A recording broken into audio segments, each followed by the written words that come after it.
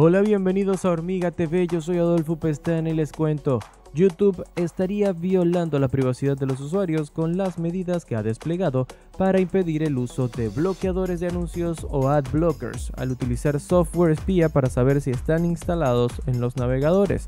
En mayo de este año, Google comenzó a probar una característica que impedía reproducir videos a los usuarios que utilizaran extensiones de este tipo. Así les informó de que, en caso de querer visualizar el contenido, debían dejar de usar estos programas.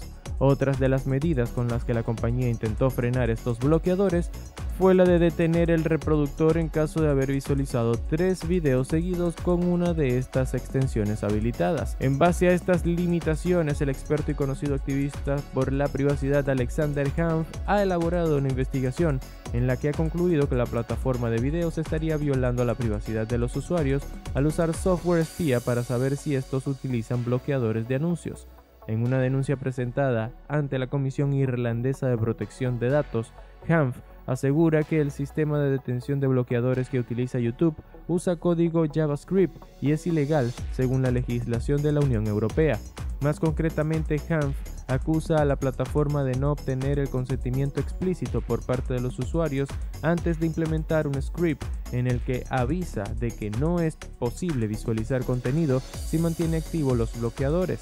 En este sentido, YouTube efectuaría una interacción técnica no consensuada, lo que indica que violaría el Reglamento General de Protección de Datos y la actual directiva sobre la privacidad de la Unión Europea. Por el momento el regulador investiga la denuncia y se espera que emita una resolución que podría conllevar al cese de estas actividades sin consentimiento por parte de YouTube en caso de darle la razón a Hanf.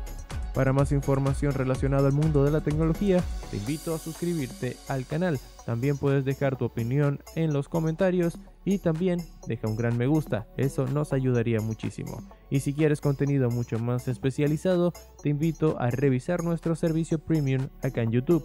Yo soy Adolfo Pestana y me despido hasta un próximo video.